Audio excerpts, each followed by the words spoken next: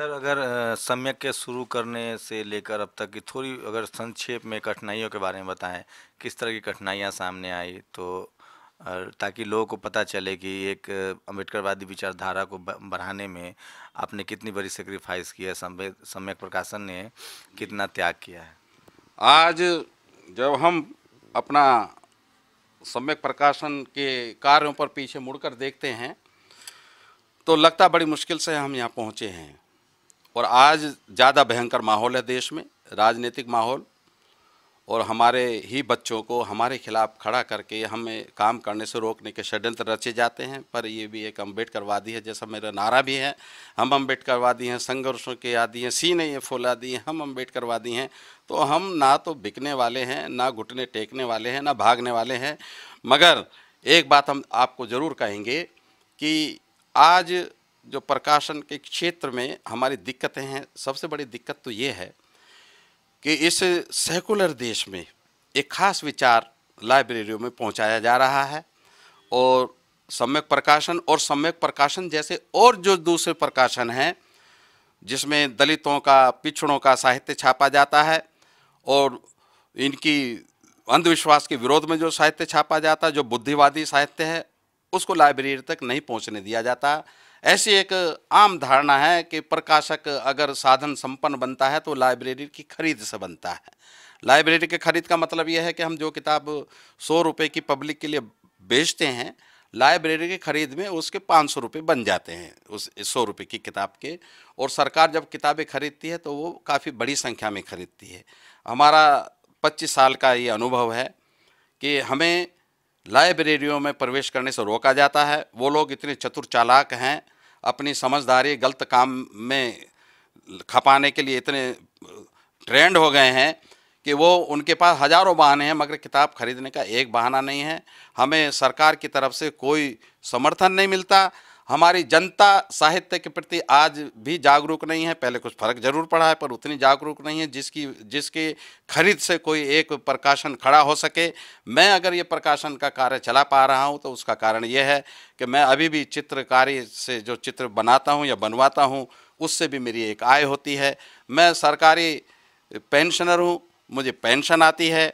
बहुत कुछ हमारी ज़रूरतें ज़्यादा नहीं हैं। हम सादा जीवन, उच्च विचार वाले लोग हैं, मगर हम भूखे रहकर भी इस आंदोलन को कभी पीछे जाने नहीं देंगे। दूसरी जो सबसे बड़ी दिक्कत है वो ये है कि जो हमारी आंतरिक जो दिक्कत है, जो हमारे संगठन हैं, मैं नाम लेकर कहूँगा, क्योंकि इसमें अच्छा है, मैं सुधार की भावना से कह रहा हूँ। एक भारतीय बौद्ध महासभा संगठन है, जिसका मैं नेशनल वाइस प्रेसिडेंट हूँ, और उसकी प्रेसिडेंट बाबा साहेब डॉक्टर अंबेडकर की पुत्र वधु नेशनल प्रेसिडेंट है। नेक्स्ट मेरे पोजीशन आती है। उस संगठन में भी साहित्य के प्रति वो तड़प, वो नहीं है, वो महत्व नहीं दिया जाता जो दिया जाना चाहिए। दिल्ली में आप देख लीजिए, जहाँ दिल्ली में अंबेडकर भवन पर दिव्य बुद्धिस्ट सोसाइटी ऑफ़ इंडिया का ऑफ़िस है, वहाँ का एक छोटा सा बुक स्टॉल है। कभी जब मैं प्रेसिडेंट होता था, मैं दस साल प्रेसिडेंट रहा, उसमें जो छोटी सी किताब की दुकान है, वहाँ पर उल्लू बोलते हैं। ना वहाँ ग्राहक आते हैं, ना वहाँ किताब मिलती है। जब किताब नहीं मिलेगी तो ग्राहक क्यों आएगा? दूसरा ये है, सर एक स्टोन्स थ्रो डिस्टेंस इतनी दूर पर आप पत्थर मारो तो पहुँच जाएगा, वहाँ आर एस एस का एक प्रकाशन है, सुरुचि प्रकाशन। वहाँ जा कर के देखिए कि कितनी किताबें भरी पड़ी हैं, कितने वहाँ पर पाठक आ रहे हैं, कितने वहाँ पुस्तक प्रेमी आ रहे हैं। तो साहित्य के प्रति हमारे जो संगठन है, मैं आपको एक संगठन का नाम बताता हूँ, दिल्ली में ही है। परिसंघ है कर्मचारियों का, बहुत बड़ा संगठन है, बहुत आलिशान उनका दफ्तर है कनाट प्लेस में। उन्होंने अपने एक कार्यक्रम में से किताब बेचने वालों को खदेड़ दिया कि नहीं ये किताब नहीं है, बिकेगा। अरे, दुनिया का आप, बाबा साहेब डाक अंबेडकर फ़ोटो लगाया है ना अपने मंच पे, उसका परिचय प्राप्त कर लो। बाबा साहेब डाक अंबेडकर दुनिया के सबसे बड़ी लाइब्रेरी, पर्सनल लाइब्रेरी के मालिक थे। बाबा साहेब डाक अंबेडकर सबसे ज़्यादा साहित्य भारतवर्ष के किसी नेता ने इतना साहित्य नहीं दिया जितना बाबा साहब साहित्य देकर गए हैं। बाबा साहेब, डॉक्टर अंबेडकर ने हम सबके जो ये नक्शे बदले हैं हमारी बदन के, ये उन्होंने किताब के माध्यम से, शिक्षा के माध्यम से, कलाम के माध्यम से बदले हैं और उनके अनुयायी क्या कर रहे हैं? ये किताब बेचने वालों को बाहर निकालो। तो ये साहित्य के प्रति जो अरुचि है, अज्ञानता है, ये एक सबसे बड़ी बाधा हमारे समाज में है। दूसरा क्या है कि अभी एक एक हमारे कुशवाहा हमारे मित्र हैं वो किताब बेच रहे थे छतरपुर में। एक कॉलेज के सामने उनकी छोटी सी दुकान उन्होंने बनाई। वहाँ एक किताब बिक रही थी। अरे हिंदुओ जागो। वो किताब का लेखक तो ब्राह्मण है, चक्रवर्ती है। अंग्रेज़ी में किताब है, उसका हिंदी अनुवाद प्रोफेसर राम नाथ जी ने किया है, जो रिटायर्ड प्रोफेसर हैं, वाइस चांसलर हैं। कृषि यूनिवर्सिटी के वाइस चांसलर रहे। तो वहाँ कुछ लोग आए संघ परिवार के और आकर उन्होंने उसको मारा, पीटा, उसकी किताबें लूट ली और उसको ले जाके थाने में बंद करा दिया क्योंकि शासक जातियों के थाने में राज चलता है और उस व्यक्ति को एक दिन जेल में रखा, उस पर कोई केस भी बना दिया है। अब वो मामला चल रहा है। वो क्या है? वो हमको कुछ नहीं कहेंगे। उनको पता है ये प्रकाश है, जागरूक है, पढ़ा लिखा है, कानून भी जानता है। मगर वो किताबें, उनको ये पता है कि ना ये गाँव में कोई किताब लेकर आएगा, ना ये किताबें कहीं तक जाएँगी। तो किताब बेचने वालों को पीटते हैं, किताब बेचने वालों को प्रताड़ित करते हैं, उन पर झूठे मुकदमे बनाते हैं। अभी पिछले दिनों कुल्लू में, हिमाचल प्रदेश में 22 लोगों 22 लेखकों पर मुकदमे बने। तो ये सब क्या है? वो मुकदमा चलता है दो चार पाँच साल, बाद में खारिज हो जाता है। तो वो उनको भी पता है मुकदमा डालने वालों को कि मुकदमा खारिज होना है। मजिस्ट्रेट भी जो पाँच साल तबाह कर रहा है हमारे उसको भी पता है अंत तो गतवा इसकी कोई गति नहीं खत्म होना है। मगर चार पाँच साल इनको परेशान करके साधन इन लोगों को तोड़ने का काम जो होता है ये सबसे बड़ी परेशानी है। एक को लगता है कि साहित्यिक स्तर पर जो जातिगत भेदभाव है वो बढ़ा है या वो दायरा थोड़ा ख़त्म हुआ है? और अब जो जो S C S T O B C minority और महिलाएँ जो हैं वो खासकर जो ब्राह्मणिकल सिस्टम है पेट्रियार्कल सिस्टम है, उसको तोड़ रही है, क्योंकि बहुत ज़्यादा संख्या में पहले जो इन वर्गों के लोग, कॉलेज, यूनिवर्सिटी भी नहीं पहुँच रहे थे, अब ज़्यादा से ज़्यादा संख्या में लोग पहुँच रहे हैं। तो अब क्या उम्मीद दिख रही है कि जो अम्बेडकरवादी साहित्य, बहुत लोग कहते हैं कि अंबेडकर की वापसी हो रही है। एक के बाद एक लगातार उनके जन्मदिन पर या उनके महापरिनिर्वाण पर कार्यक्रम हो रहे हैं। तो समाज में एक जागरूकता दिख रही है या कुछ उम्मीद बन रही है आपको? नहीं, पहले से कार्यक्रमों में भीड़ बढ़ी है। पहले से जो आपने बताया बच्चों में बाबा साहब के प्रति, अपने उसके प्रति सारी चीज़ें बिल्कुल बढ़ रही हैं, इसे कोई नकार नहीं सकता। मगर मेरा मानना ये है कि जैसे जिसको आप कहते हैं शिक्षित हो गया, मैं उस व्यक्ति को शिक्षित नहीं मानता जो अपने सामाजिक विरासत से दूर रहे।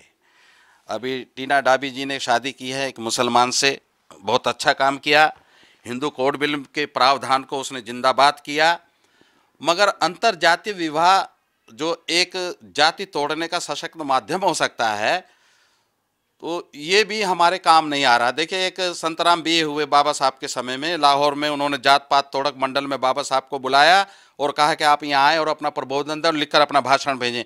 बाबा साहब ने अपना भाषण भेजा। उन्होंने कहा कि इसमें से ये चीज़ हटा दो। बाबा साहब ने कहा, मैं इसमें न कोमा लगाऊँगा, न कोमा हटाऊँगा। इसको अगर ऐसे ही आपने पढ़वाना है तो मैं पढ़ूँगा और नहीं तो मैं नहीं आऊँगा। वो उन्होंने बाबा साहब का प्रस्ताव स्वीकार नहीं किया, अपना कार्यक्रम ज़रूर स्थगित कर दिया और आज तक नहीं हुआ वो। मगर बाबा साहब ने वो भाषण annihilation of caste undelivered speech के नाम से प्रकाशित कराया, जिसको आज हम एनिलेशन ऑफ़ कास्ट कहते हैं।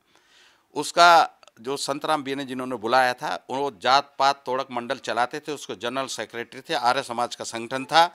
उन्होंने, उनकी तीन बेटियाँ थी, तीनों को मैं जानता था, अब तीनों इस संसार में नहीं हैं। उन्होंने तीनों बेटियाँ हायर कास्ट में शादी कर दी, टूट गई जात।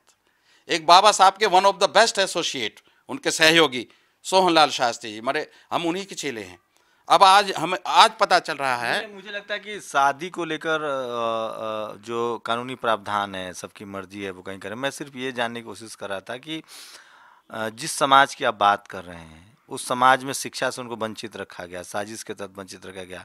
अब जबकि कॉन्स्टिट्यूशनल राइट्स मिले हैं लोग किसी न किसी तरह से हायर एजुकेशन में पहुँच रहे हैं तो स्थितियाँ कुछ बदलती हुई नज़र आ रही है। मैं आप बदल ये बता ये रहा था आपको मैं थोड़ा लंबे उदाहरण मैंने दे दिए। जब तक हमारे बच्चों के अंदर अपने समाज की शिक्षा नहीं है, गौरव के, अपने समाज के प्रति गौरवशाली बिंदुओं का परिचय नहीं है, तब तक ये स्कूली शिक्षा से हमारा कुछ बनना नहीं है। हमें समाज के प्रति जुड़ना है और जो शिक्षा हमें जोड़ती नहीं है। आज भी जब स्कूल में ग ग से ज्ञानी पढ़ाया जाता है तो बच्चे के पैदा होते स्कूल में जाति पता चल जाता है भाई ज्ञान ही विद्वान होता है। तो इस देश में जब तक हम अपनी शिक्षा अपने बच्चों को नहीं देंगे, हमारे बच्चे कितने पढ़ जाएँ, कितने लिख जाएँ, उसके अनुकूल हमें परिणाम नहीं मिलेंगे।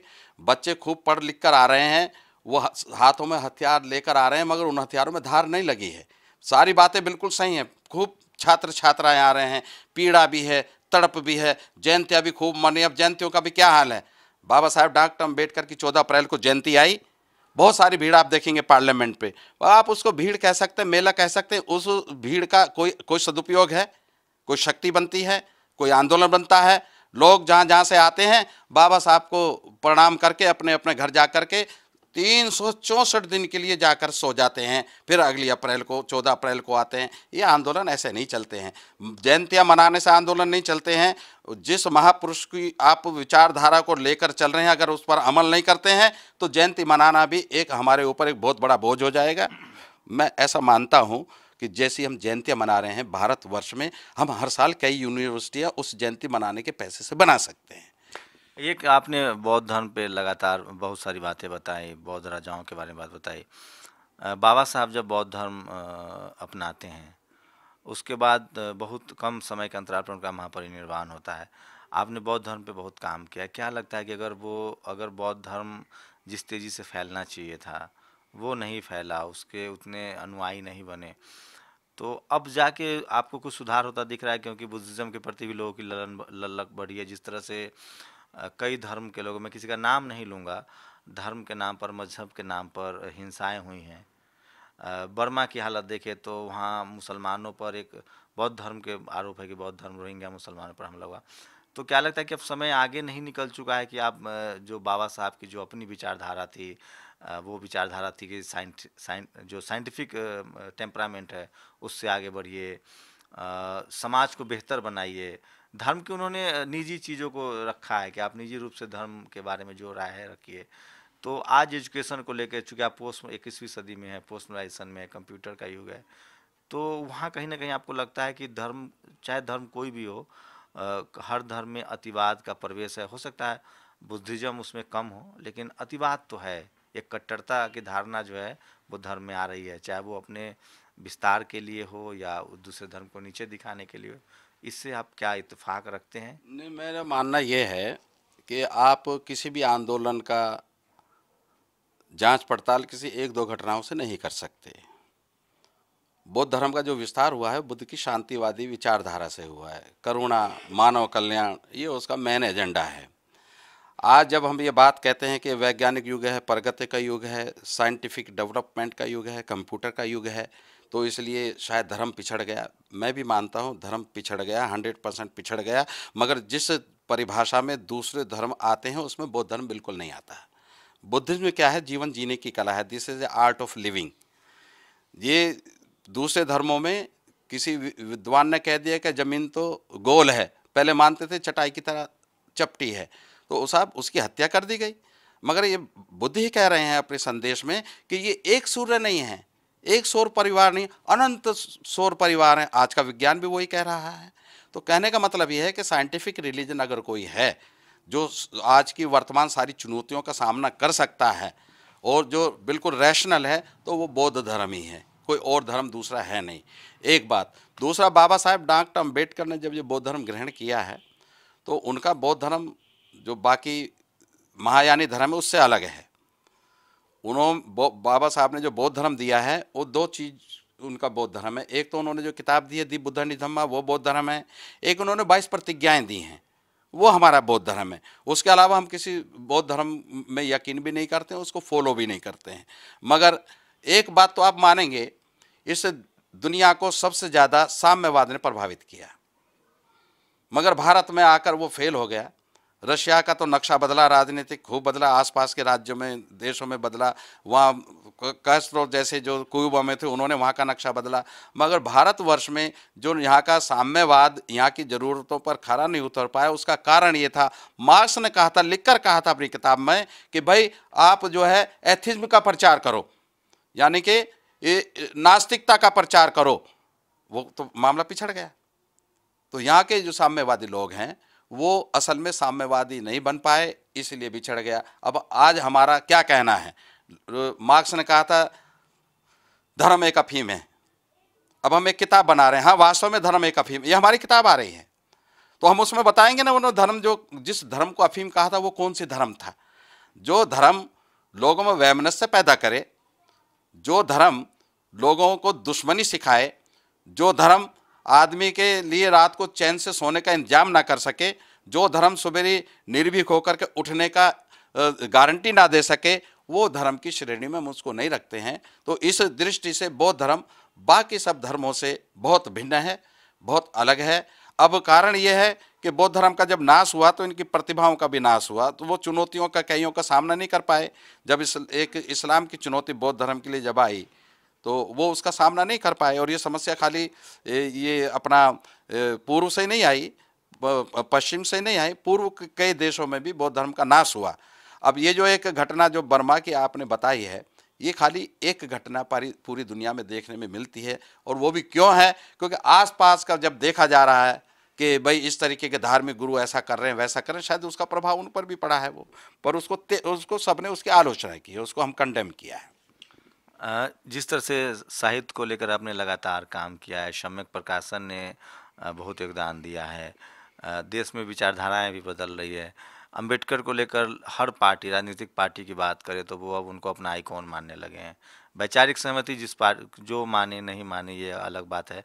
लेकिन राजनीतिक रूप से जैसे एक मोटी सी परत जमी थी, जब कांसीराम आते हैं, राजनीतिक सिंड्रोम चेंज होता है, राजनीतिक डिस्कोर्स चेंज होता है, अब क्या लग रहा है, जो नया युवा वर्ग है वो रेशनल हो रहा है, वो ज़्यादा तर्कवादी हो रहा है और वो अंबेडकर के तमाम विचारों को तेज़ी से अपना रहा है और इसमें सम्यक प्रकाशन की आगे किस तरह की भूमिका होगी? नहीं, हमारी भूमिका तो पहले से जो निर्धारित है वही है, मगर अब और ज़्यादा लोगों की जिज्ञासाएँ सम्यक प्रकाशन से जुड़ गई हैं, अपेक्षाएँ सम्यक प्रकाशन से जुड़ गई हैं। इसमें कोई संदेह नहीं है कि बाबा साहब के प्रति आस्था रखने वाले लोगों की बहुत भारी संख्या में वृद्धि हो रही है, ना केवल उनकी जाति के अंदर, उनकी, अब हम बाबा साहब की जाति के नहीं हैं।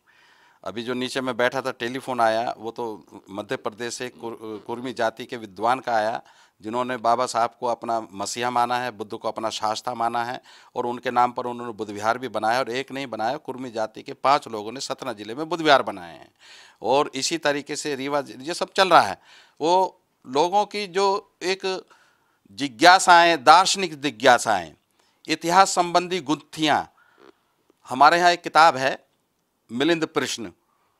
उसमें महाराजा मिलिंद जो यूनान का राजा था और भारतवर्ष में आकर के वो बौद्ध बन गया था। ये हमारे इतिहास में सब दर्ज है, सब सब सब किताबों में मिलेगा।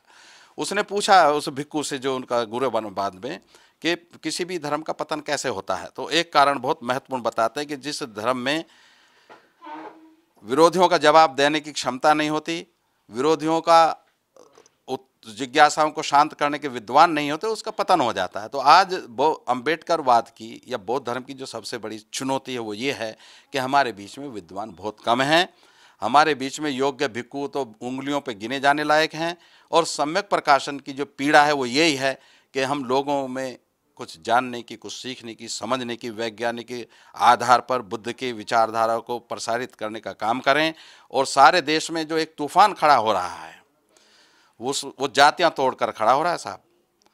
वो क्षेत्रीयता तो तोड़कर खड़ा हो रहा है और बाबा साहेब डॉक्टर अंबेडकर का जो सम्यक प्रकाशन का एक जो काम करने का आधार है, वो ये है कि जब राउंड टेबल कॉन्फ्रेंस में बाबा साहब इंग्लैंड में थे तो वहाँ से उन्होंने एक पत्र लिखा था दादा साहब गायकवाड़ को, जो यहाँ उनकी राजनीतिक विचारधारा के उनके सेनापति थे।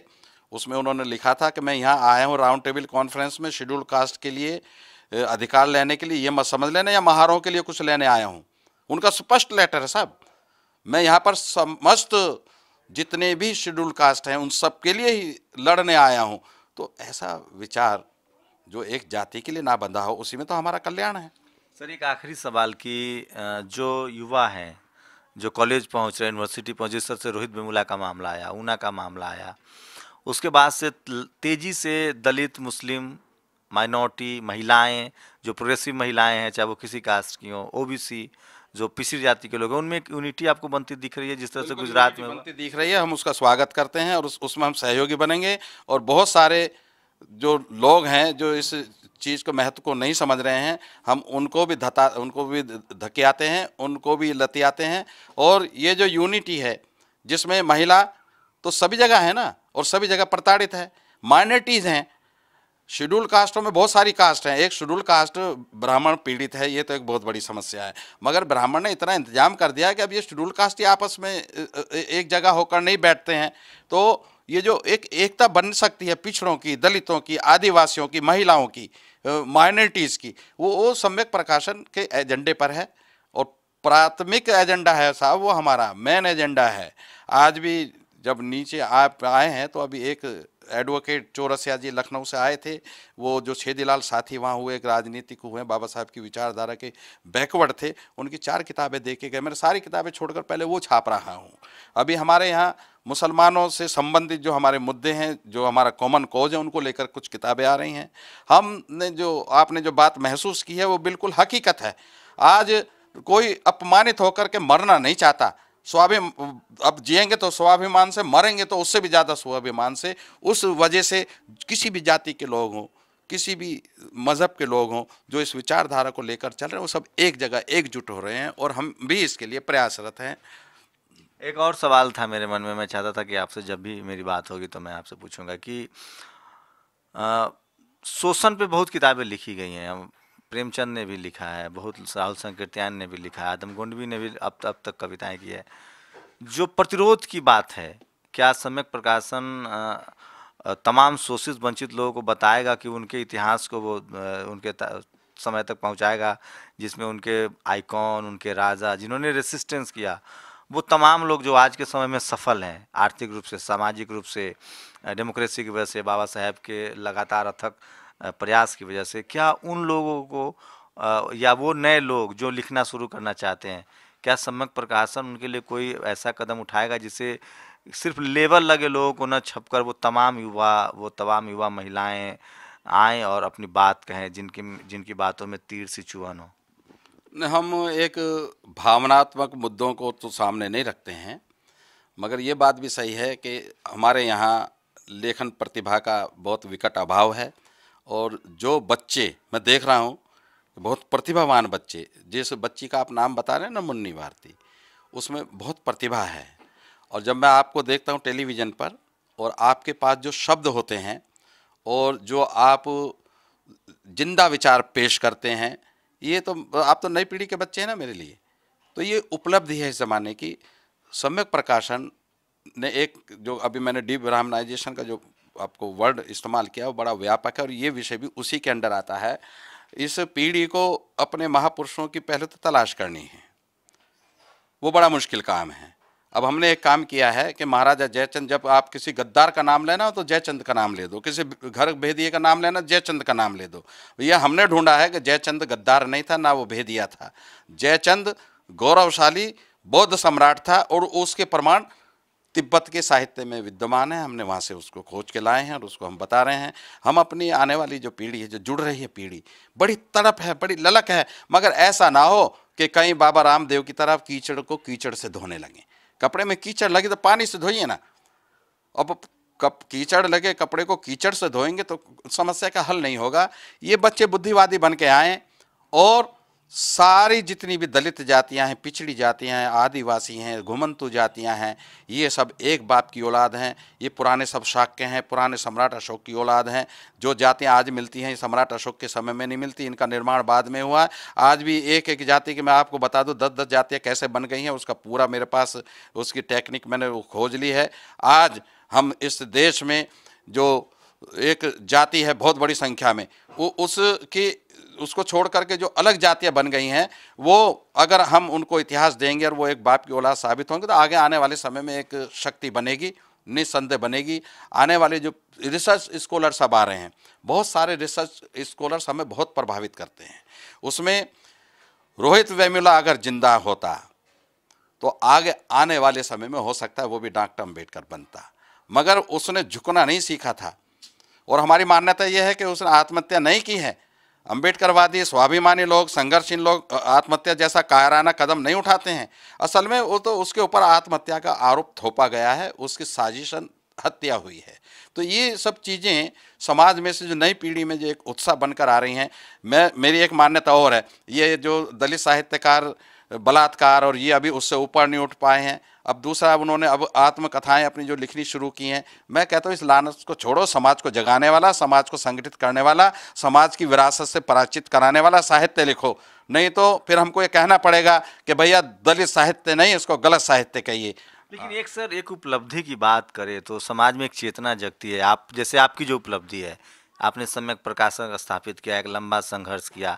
आपको नहीं लगता कि तमाम वो शोषित, वंचित तबके के लोग जो तमाम तरह की कठिनाइयों को झेल के मेन स्ट्रीम में आते हैं, चाहे वो टीना डाबी हो, चाहे वो रोहित बेमुला थे चाहे वो अभी रोहित बेमुला के साथ ही जो आई में प्रोफेसर बने हैं, जो छोटी छोटी उपलब्धि हैं, अगर इनको संजोया जाए तो क्या नहीं लगता कि ये समाज में एक मार्गदर्शक बनेगा कि नहीं, आप हिम्मत कीजिए, हमारे पास ज़मीन नहीं है, व्यापार नहीं है बैकग्राउंड नहीं है, हमें आर्थिक, सामाजिक रूप से शोषित किया गया है, फिर भी जो बाबा साहब ने हमें हथियार दिया, डेमोक्रेसी दी यूनिवर्सिटी खुला है, उसमें हम जाएँ, पढ़े।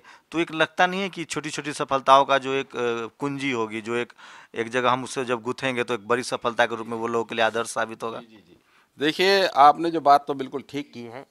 सम्यक प्रकाशन की जो व्यक्ति, जो सफलताएँ हैं, एक तो मेरी व्यक्तिगत सफलता नहीं है। ये बहुत सारे मेरे जैसी तड़प रखने वाले मित्र साहित्यकारों का, मेरे सहयोगियों का एक संयुक्त प्रयास है और वो सफल हुआ। आज हमारे बीच में जो प्रतिभाएँ हैं, जो प्रतिभाएँ जूझ रही हैं ऊपर आने के लिए, उनको ऊपर उठाने का एक माहौल हमारे अंदर से नहीं बन पा रहा है। अभी महा, राजा महाराजा होते थे, कलाकारों को मालो माल कर देते थे। किसी ने बांसुरी बजाई, कर दो भाई, दे दी अपने गले में से माला। किसी ने बहुत अच्छा गाना गाया, दे दो भाई इसको, सोने की अशरफियों की थैली। उसके बाद क्या हुआ कि ये समाज तो वंचित हो गया, पीड़ित हो गया, सब कुछ चीज़ें अपनी खो बैठा। मगर एक बात हमें बड़ा उत्साहित करती है कि आज राजा महाराजा तो नहीं रहे ना, अभी किसी बड़े अफसर की बेटी अगर चित्रों की प्रदर्शनी लगाती है तो लोग उस आई अफसर से काम कराने के इच्छुक लोग बड़ी बड़ी महँगी कीमत देकर उसके चित्र खरीद के ले जाते हैं। मगर हमारे समाज में कला को प्रोत्साहित करने का कोई प्रावधान नहीं है। एक अभी जो बात आपने कही, साधनहीन लोग हैं, मैं साधनों के अभाव को, अभाव इसलिए नहीं मानता क्योंकि मुझे अमेरिका का एक उदाहरण बहुत प्रभावित करता है। ब्लैक पैंथर्स की कहानी आपको सब मालूम है। वहाँ के नीग्रो लोगों की कहानी नहीं बताऊँगा, मगर ये मैं बताऊँगा कि जब उन्होंने एक दिन ये महसूस किया, हमारे पास ज़मीन नहीं है, हमारे पास पैसा नहीं है, हमारे पास टैलेंट नहीं है, हमारे पास टेक्निक नहीं है तो उनका जो एक मित्र मंडल इकट्ठा हुआ, उन्होंने एक दिन विचार किया कि ठीक है, हमारे पास ये कुछ भी नहीं है, हमारे पास, हमारा बदन तो है। तो उन्होंने अपने समाज को अपने बदन पर खेलने का काम सिखाया। उन्होंने अपने बदन पर अपना म्यूज़िक डेवलप किया।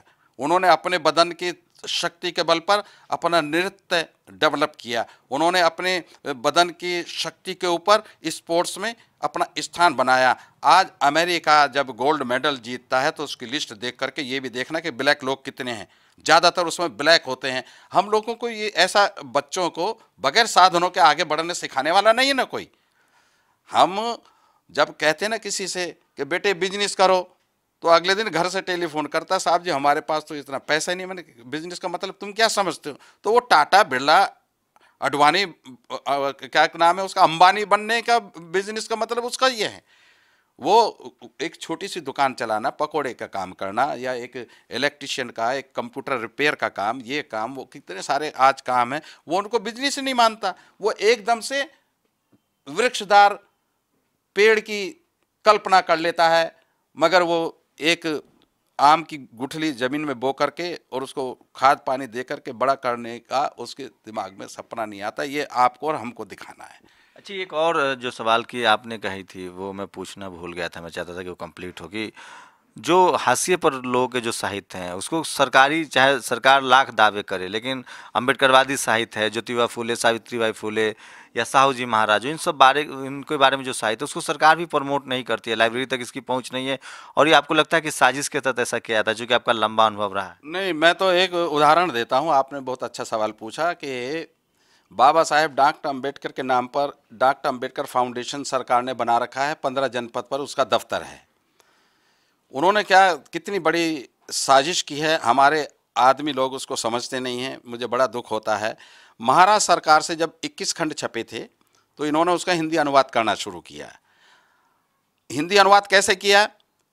कि नौ जो अंग्रेज़ी के ग्रंथ हैं, उनके दो दो बना दिए तो कितने? नौ दूनी? अट्ठारह हो गए।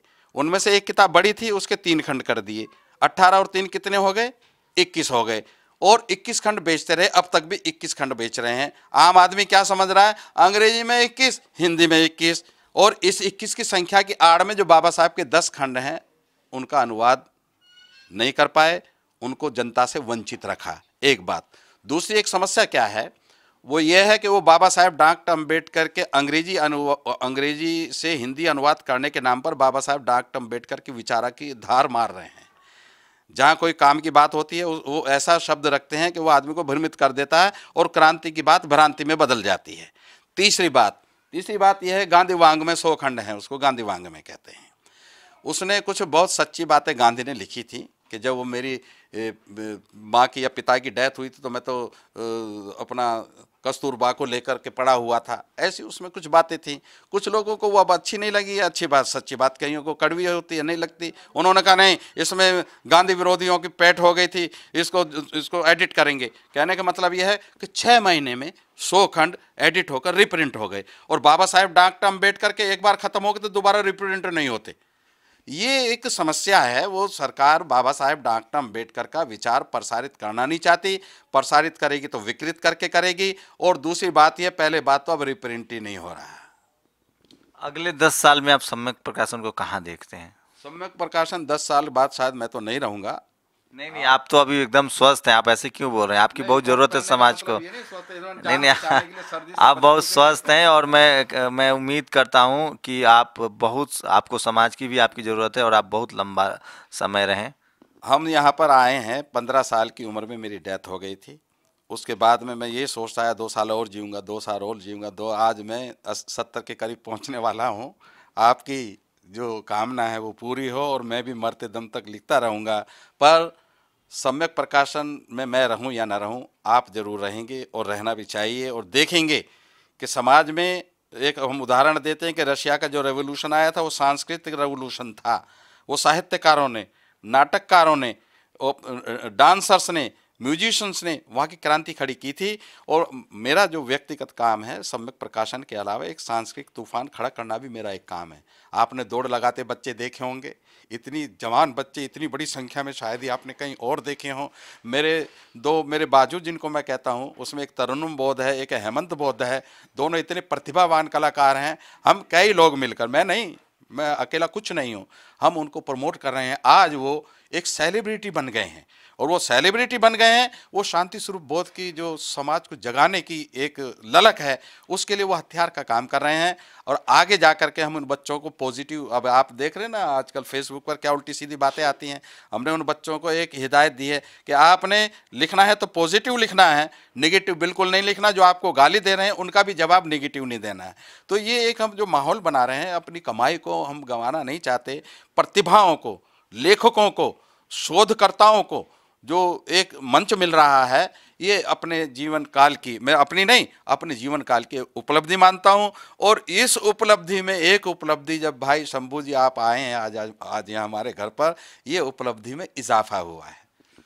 तो जब भी आप शांति स्वरूप बहुत से बात करेंगे, मैं कई बार मिला हूँ इनसे, निजी तौर पे भी मिला हूँ, कई प्रोग्रामों में मिला हूँ तो इन्होंने एक लंबा संघर्ष किया है और समाज वो उस समय जब अम्बेडकरवादी विचारधारा को दफनाने की कोशिश हुई, एक मोटी सी धूल जम गई थी उसके बाद इन्होंने एक हिम्मत दिखाई, एक हौसला दिखाया और जो सांस्कृतिक बदलाव, जो साहित्यिक बदलाव होता है, उसका बीरा उठाया, अपने कंधे पर जिम्मा लिया और उसको उन्होंने आज तक चलाया है। दिल्ली जैसे शहर में बिना किसी सरकारी मदद के, बिना किसी बड़ी योजना के और बिना किसी आर्थिक मदद के इन्होंने एक प्रकाशन खड़ा किया और सम्यक प्रकाशन आज पूरी दुनिया में, पूरे देश में जहाँ भी अम्बेडकरवादी समाज के लोग हैं, रविदसिया समाज के लोग हैं शोषित वंचित तबके की जो दर्द को महसूस करते हैं, उन्होंने प्रोत्साहित किया है और उन्होंने उसको स्वीकारा है कि सम्यक प्रकाशन ने एक ऐसा काम किया है जो समाज में बराबरी, समानता, लैंगिक भेदभाव के खिलाफ लगातार लिखा है।